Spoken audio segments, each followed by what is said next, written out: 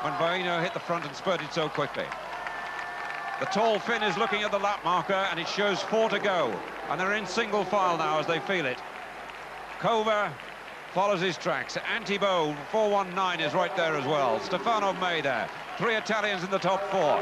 Erixon is five, Castro six, Prianon seventh, John Treacy eighth. Then we come back to Steve Binns, uh, back in 11th place. Steve Harris is 12th. And that was a 63-second lap, and that's caused all this trouble. The test for Vainio, though, is to keep it going and run another 63-second lap, because if he slows down from here, he's just leaving himself a sitting target for the rest of them. But he seems to be keeping the pressure on, and he has to do that against Cova. He learned, his, he learned that in Los Angeles against Cova, and he's learning it again tonight because he, as soon as he spurted, Cova followed him, and Stefano Mei, the other Italian, followed him too, and, and Antibo. And the Italians are getting excited because they think they can be one, two, three in this race. John Treacy struggling at the back of the group, but the British boys were destroyed by that 63-second lap. The Italians have every right to be excited, but the Finns are getting excited as well, seeing Vainio there. And you look back at the Finnish record in this 10,000 metres, they've won it previously no less than five times. 34 and 38, the great uh, Salminen. Then Heino in 46. Väätäinen in 71 and Vainio himself in 78. Other great names who won this.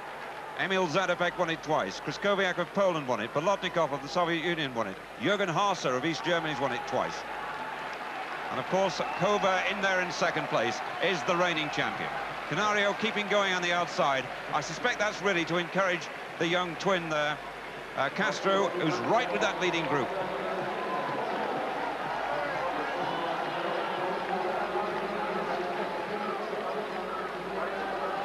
Eight of them left, battling for gold, silver and bronze.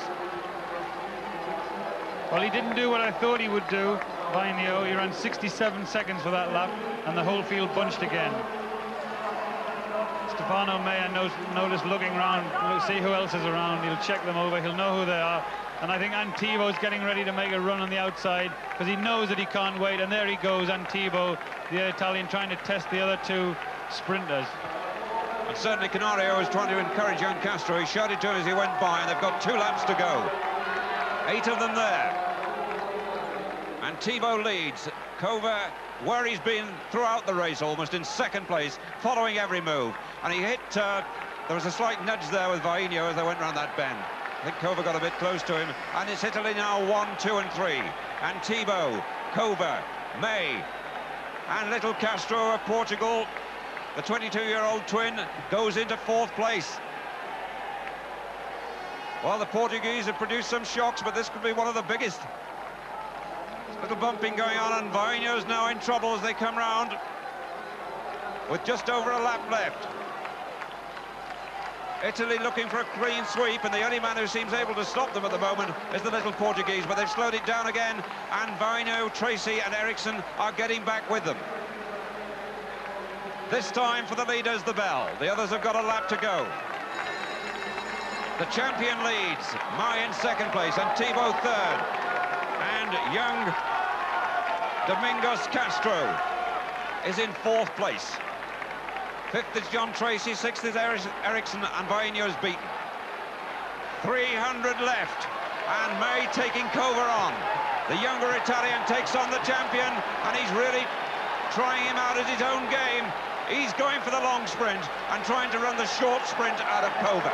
But Cova responds like the Olympic, European and world champion he is. And he's very much back in, with Antibo in third place at the moment. And it's going to be Italy one, two and three. Will it be Mei? Will it be Cova for the gold? And Mei knows that Cova, the fast short sprint is there, and he can't release it. The champion is beaten by the young pretender. Stefano Mei becomes the champion at 23 years old. Cova claps the new hero. Antibo is third. One, two, three for Italy. Erixon may have been fourth. Castro five. Treacy six. Vainio in seventh place. Prianon France at eighth. Hartmann in ninth place for Austria.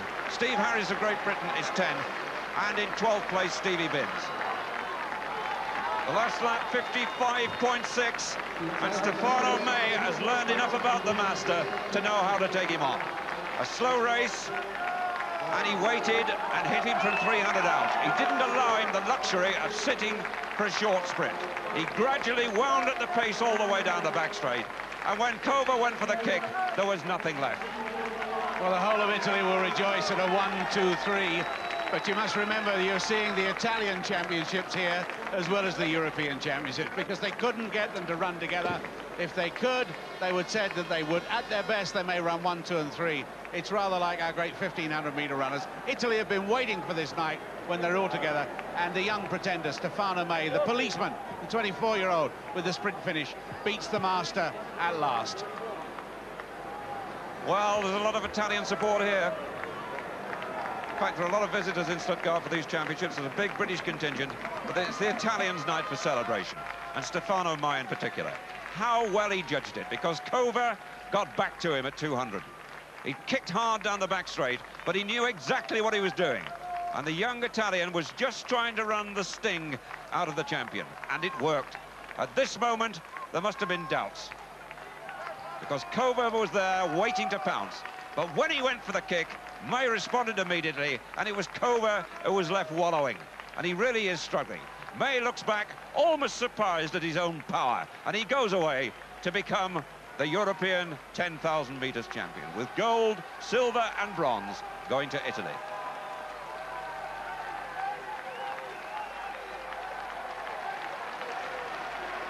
Well, it was always possible it would be a tactical race, but this man's tactics were just right. He was always in the first three, four. He was always behind Cova. And I think he'd selected Cova as the man he'd got to beat. This was where the damage was done. As Mei elected to go from way, way out. And of course, this is a young man who stepped up in distance from 1,500 and 5,000, and doesn't it show? Well, it certainly showed on the last lap there, but Ah, he'd obviously chosen to attack to pull the finish out of Cova. He did that very successfully going down the back straight. And when Cova got closer to him, came back to him, I thought he was closing on him there again.